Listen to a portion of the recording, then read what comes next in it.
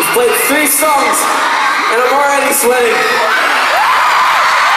can't tell if that's a good thing. Actually, you look damn good tonight. man. Good